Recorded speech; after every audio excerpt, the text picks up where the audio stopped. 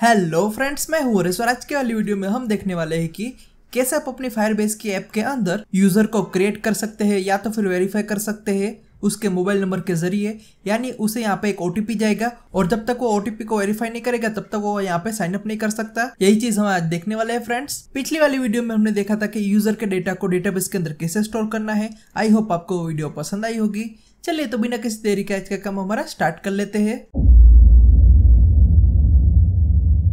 Okay okay, तो ये देखो यहाँ पे कुछ इस प्रकार से हमने पिछली वाली वीडियो में किया था यहाँ पे जैसे यूज़र साइन अप होगा उसके तुरंत बाद उसका डेटा यहाँ पे डेटाबेस के अंदर स्टोर हो जाएगा चले तो यहाँ पे फायरबेस की ऐप को ओपन कर लेते हैं ओके okay, तो ये देखो यहाँ पे ओपन हो चुका है अब सिंपली यहाँ पे जाना है ऑथेंटिकेशन के अंदर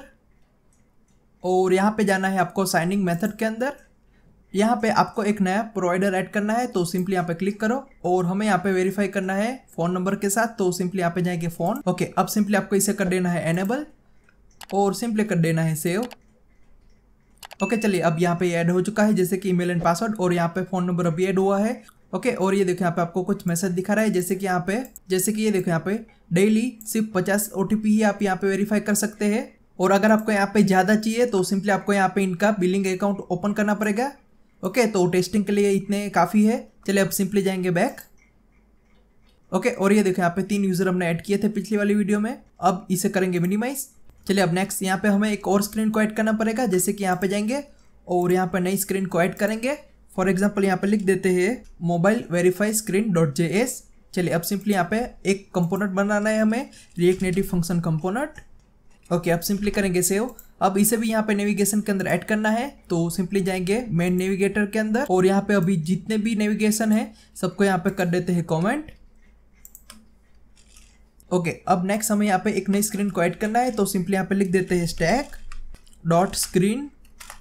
अब इस स्क्रीन का नाम दे देते हैं नेम इक्वल टू यहाँ पे लिख देते हैं मोबाइल वेरिफिकेशन अब इसके अंदर हमें यहाँ पे कंपोनेंट पास करना है तो यहाँ पे लिख देते हैं कंपोनेंट इक्वल टू यहाँ पे कंपोनेंट को इंपोर्ट करना पड़ेगा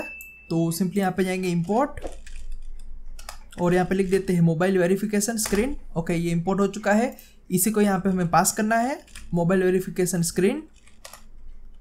और इसके अंदर हमें यहाँ पे हेडर नहीं चाहिए तो यहाँ पे ऑप्शन भी ऐड करेंगे। Option equal to header shown इसे रखना है फॉल्स चलिए अब सिंपली करेंगे सेव ओके अब यहाँ पे इसे और कर देते हैं और सिंपली करेंगे सेव चलिए अब ऐप को एक बार कर लेते हैं रिस्टार्ट ओके तो ये देखो यहाँ पे हमारी स्क्रीन आ चुकी है। अब इसके अंदर हमें क्या करना है? यहाँ पे हमें दो इनपुट चाहिए तो सिंपली यहाँ पे इंपोर्ट कर लेते हैं टैक्स इनपुट ओके अब यहाँ पे इसे निकाल लेते हैं। और सभी एलिमेंट को यहाँ पे एकदम सेंटर में लेके आते हैं। Style equal to flex one justify content center और यहाँ पे आएगा अलाइन आइटम्स और ये भी हमें रखना है सेंटर में। अब इसके अंदर यहाँ पे टैक्स इनपुट को ऐड करेंगे। टैक्स इनपुट ओके अब इसके नीचे हमें यहाँ पे एक बटन भी ऐड करना पड़ेगा। तो सिंपली यहाँ पे जाएँगे और इंपोर्ट कर लेते हैं बटन और यहाँ पे ऐड कर लेते हैं बटन और इसका टाइटल रखेंगे. टाइटल इक्वल टू यहाँ पे लिख देते हैं सेंड ओटीपी और यहाँ पे इसको भी स्टाइल दे दी है तो यहाँ पे इनपुट को थोड़ी सी स्टाइल दे देते हैं. Style equal to border width और इसे रखेंगे टू और सिंपली करेंगे सेव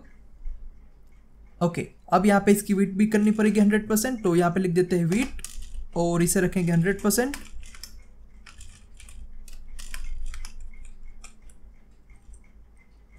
ओके यहाँ पे थोड़ी सी कम कर लेते हैं। हंड्रेड की जगह पे लिख देते हैं एटी और बॉर्डर विथ भी थोड़ी सी कम कर लेते हैं। चलिए, अब यहाँ पे थोड़ी सी बॉटम में मार्जिन एड कर लेते हैं। मार्जिन बॉटम फाइव अब इसके अंदर प्लेस होल्डर भी ऐड कर लेते हैं। प्लेस होल्डर इक्वल टू यहाँ पे लिख देते हैं। Enter your mobile number okay अब सिंपली करेंगे सेव ठीक इसी प्रकार से हमें यहाँ पे इसे करना है कॉपी पेस्ट ओके चलिए अब सिंपली करेंगे सेव ओके तो ये देखो यहाँ पे हमारा यू कुछ इस प्रकार से आ चुका है जैसे कि यहाँ पे हम मोबाइल नंबर को एंटर करेंगे उसके तुरंत बाद हम यहाँ पे क्लिक करेंगे सेंड ओटीपी के ऊपर अब यहाँ पे जैसे क्लिक करेंगे तो हमें यहाँ पे एक ओटीपी आएगा अपने नंबर के ऊपर वही ओटीपी को एंटर करने के लिए सिंपली यहाँ पे ये दूसरी फ़ील्ड हमने ली है इसके अंदर हम यहाँ पे एंटर करेंगे ओटीपी तो यहाँ पे थोड़ी सी चेंजेस कर लेते हैं जैसे कि यहाँ पे लिख देते हैं एंटर योर ओटीपी और यहाँ पे लिख देते हैं सबमिट ठीक इसी प्रकार से यहाँ पे थोड़ी सी मार्जिन ऊपर भी ऐड करनी है तो मार्जिन टॉप ओके तो ये देखो, यहाँ पे कंप्लीट हो चुका है। अब हमें क्या करना है? सिंपली यहाँ पे दो फ़ंक्शन बनाने हैं तो यहाँ पे जाएँगे और यहाँ पे लिख देते हैं const space send O T P equal to simply यहाँ पे एनोनिमस फ़ंक्शन बना लेते हैं। इसके अंदर आएगा ट्राई कैच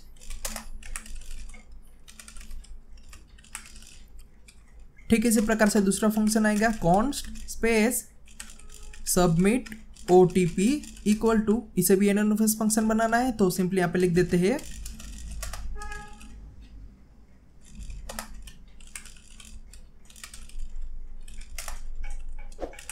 ओके अब सिंपली करेंगे सेव ओके चलिए अब ये देखो, यहाँ पे सेंड ओटीपी के ऊपर क्लिक करते ही ये। सेंड ओटीपी वाला फ़ंक्शन कॉल होना चाहिए तो सिंपली यहाँ पे क्लिक करेंगे और यहाँ पे लिख देते हैं।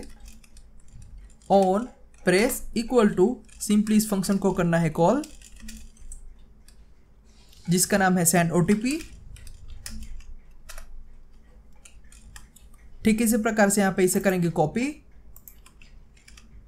और इस बटन के ऊपर क्लिक करते ही हमें ये सबमिट ओटीपी वाला फ़ंक्शन कॉल करना है. ओके चलिए अब नेक्स्ट यहाँ पे हमें दो स्टेट बनाने पड़ेंगे. एक इस इनपुट के लिए और दूसरा इस इनपुट के लिए. तो सिंपली यहाँ पे ऊपर जाएँगे. और यहाँ पे इंपोर्ट कर लेते हैं. यू स्टेट तो सिंपली यहाँ पे लिख देते हैं यू स्टेट और यहाँ पे लिख देते हैं मोबाइल नंबर और डिफ़ॉल्ट इसे रखना है ब्लैंक। ठीक इसी प्रकार से एक दूसरा यू स्टेट और यहाँ पे लिख देते हैं ओ टी पी इनपुट और डिफ़ॉल्ट इसे भी रखना है ब्लैंक। ओके, चलिए अब नेक्स्ट यहाँ पे हमें एक और स्टेट भी चाहिए होगा तो सिंपली यहाँ पे लिख देते हैं यू स्टेट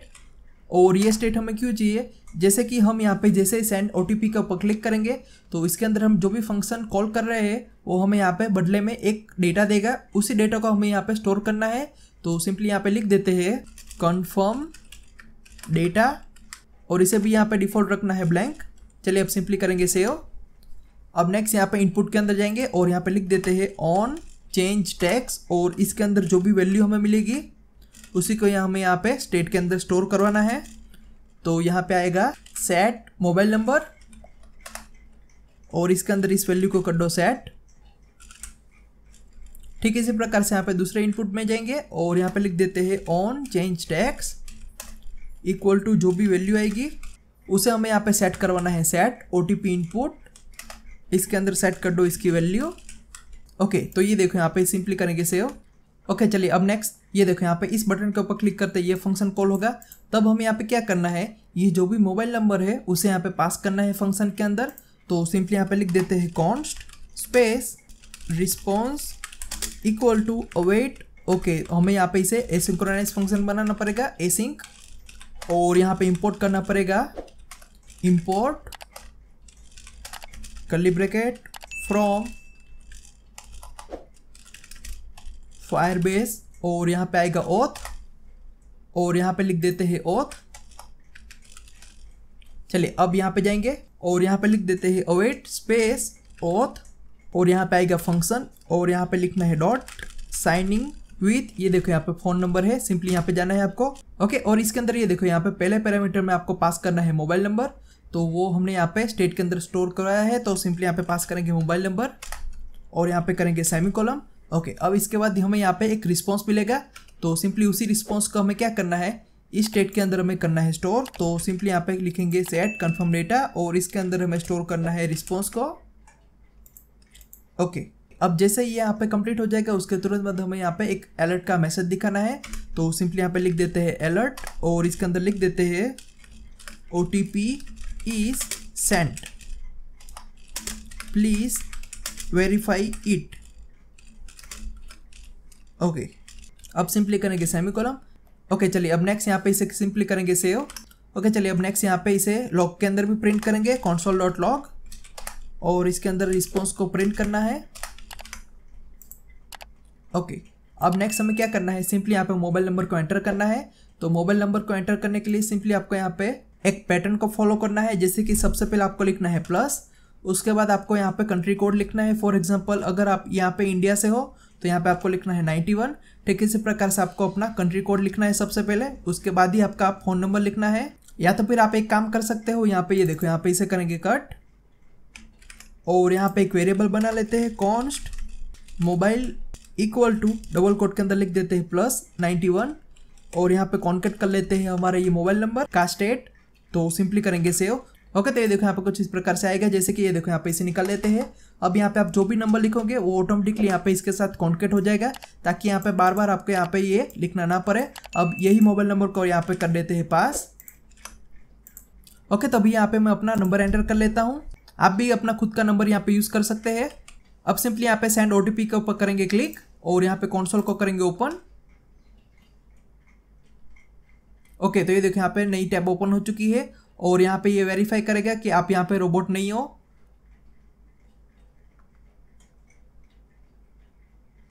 ओके तो यहाँ पे सक्सेसफुली वेरीफाई हो चुका है और ये देखो यहाँ पे मैसेज भी आ चुका है। अब सिंपली करेंगे ओके के ऊपर क्लिक और ये देखो यहाँ पे रिस्पॉन्स के अंदर हमें यहाँ पे पूरा एक ऑब्जेक्ट मिल रहा है इसी ऑब्जेक्ट को हमने यहाँ पे स्टोर करवाया है कन्फर्म डेटा के स्टेट के अंदर और ये देखो यहाँ पे मेरे मोबाइल के अंदर ओटीपी भी आ चुका है ओके तो यहाँ पे कुछ इस प्रकार से काम करेगा अब हमें यहाँ पे इस ओटीपी को वेरीफाई करना है तो वो जो भी ओटीपी आया होगा वो हमें यहाँ पे एंटर करना है और उसके तुरंत बाद हमें यहाँ पे सबमिट के ऊपर क्लिक करते ही उसे वेरीफाई करना है तो यहाँ पे इसके ऊपर क्लिक करते ही ये फ़ंक्शन कॉल होगा तो इसके नीचे जाना है आपको और यहाँ पे लिख देना है const space response equal to await okay अब सिंपली जाएँगे ऊपर और ये देखो यहाँ पे हमने जो भी डेटा को यहाँ पे स्टोर करवाया है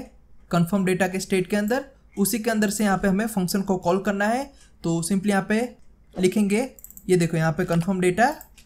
डॉट उसके अंदर एक मेथड है जिसका नाम है कन्फर्म तो यहाँ पे लिख देते हैं कन्फर्म ओके और ये फ़ंक्शन आपको कहाँ मिलेगा? ये देखो यहाँ पे, जो भी हमें रिस्पॉन्स मिल रहा है उसे यहाँ पे ध्यान से देखो। यहाँ इसी के अंदर ये मेथड है तो सिंपली यहाँ पे फ़ंक्शन के अंदर यहाँ पे स्मॉल ब्रैकेट आएगा। और इसके अंदर आपको क्या पास करना है? इसके अंदर आपको यहाँ पे पास करना है ओटीपी तो सिंपली यहाँ पे पास कर लेते हैं इसका स्टेट ओटीपी इनपुट अब सिंपली यहाँ पे नीचे जाएँगे और यहाँ पे लिख देते हैं कॉन्सोल डॉट लॉग और इसके अंदर प्रिंट करवा लेते हैं रिस्पॉन्स और यहाँ पे लास्ट में अलर्ट मैसेज भी दिखा देते हैं अलर्ट और यहाँ पे लिख देते हैं योर नंबर इज़ वेरीफाइड अब सिंपली करेंगे सेव ओके तो ये देखो यहाँ पे कुछ एरर आ रही है. ओके सॉरी यहाँ पे एसिंक आएगा. अब सिंपली करेंगे सेव चलिए वापस यहाँ पे जाएँगे और यहाँ पे मुझे जो ओ आया है, उसे यहाँ पे एंटर कर लेता हूँ. जैसे कि मेरा ओटीपी है one one four four two two चलिए अब सिंपली यहाँ पे जाएँगे और यहाँ पे सबमिट के ऊपर करेंगे क्लिक ओके तो ये देखो यहाँ पे योर नंबर इज़ वेरीफाइड आ चुका है और यहाँ पे आपको रिस्पॉन्स में क्या मिल रहा है ये देखो यहाँ पे पूरा एक ऑब्जेक्ट मिल रहा है जिसके अंदर यहाँ पे यूज़र की आईडी आ चुकी है उसका मोबाइल नंबर और ये सारी चीज़ें यहाँ पे आपको रिस्पॉन्स मिल रही है फ्रेंड्स यानी यहाँ पे आपका यूज़र सक्सेसफुली क्रिएट हो चुका है चलिए अब यहाँ पे वेरीफाई कर लेते हैं एक बार सिंपली यहाँ पे इसे करेंगे रिलोड और ये देखो, यहाँ पे आपका यूज़र सक्सेसफुली ऐड हो चुका है फ्रेंड्स तो यहाँ पे आप कुछ इस प्रकार से अपने यूज़र को वेरीफाई कर सकते हैं फ्रेंड्स ओटीपी के ज़रिए. ओके तो अगर आपको यहाँ पे इसके बारे में और इन्फॉर्मेशन चाहिए तो सिंपली यहाँ पे इंटरनेट के ऊपर चले जाओ और यहाँ पे सिंपली सर्च करो रिएक्ट नेटिव फायरबेस और करो एंटर अब यहाँ पे आपको जाना है पहली वेबसाइट के ऊपर, जिसका डोमेन है R N Firebase dot I O अब यहाँ पे सिंपली जाना है नीचे. और यहाँ पे आपको ऑथेंटिकेशन के अंदर यहाँ पे मिल जाएगा फ़ोन ऑथ सिंपली करो क्लिक और यहाँ पे थोड़ा सा नीचे जाएँगे और यहाँ पे आपको पूरा का पूरा कोड मिल जाएगा फ्रेंड्स सिंपली आपको यहाँ पे इसे ही वेरीफाई करना है और इसके बारे में ज़्यादा जानना है तो यहाँ पे पूरा डॉक्यूमेंटेशन मिल जाएगा आपको। आई होप आपको ये समझ में आ गया होगा। अब नेक्स्ट इसका जो भी डेटा आपको यहाँ पे डेटाबेस के अंदर एंटर करना है तो उसके बारे में तो हमने यहाँ पे पिछली वाली वीडियो में देखा ही था। ठीक यही चीज़ आपको यहाँ पे आगे फॉलो करनी है friends okay friends I hope आज के वाली वीडियो में आपको बहुत कुछ नया जानने को मिला होगा। तो फिर मिलते हैं नेक्स्ट वीडियो में। Thank you for watching